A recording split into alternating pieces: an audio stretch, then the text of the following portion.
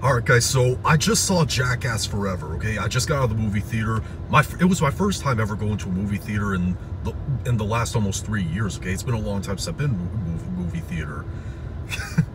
Never has a movie gone by so quickly when I was in a movie theater. I spent the entire movie laughing my head off. That was an absolutely hilarious movie.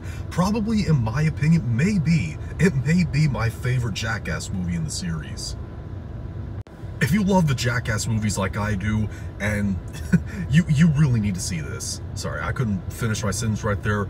You got to see this movie. It is hilarious. And it also did a really emotional tribute to Ryan Dunn at the end of the credits. Spoiler alert. I'm sorry. I don't care. Rest in peace, Ryan Dunn.